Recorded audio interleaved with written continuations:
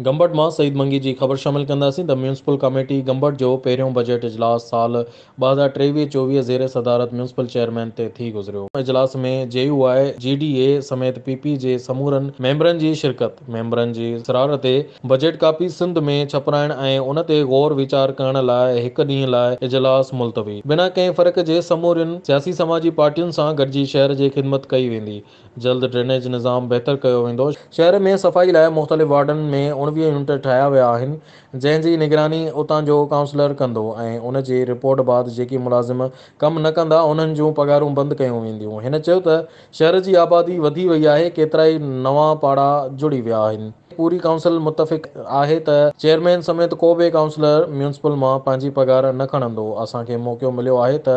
पंहिंजे शहर जे बग़ैर कंहिं ज़ाती मफ़ाद जी ख़िदमत कयूं इनशा सभिनी जी गॾियल जदोजहद सां गंबट खे पूरी सिंध में मिसाली शहरु बणायो वेंदो हर ख़बर बर ॾिसंदा रहो न्यूज़ लाइन वन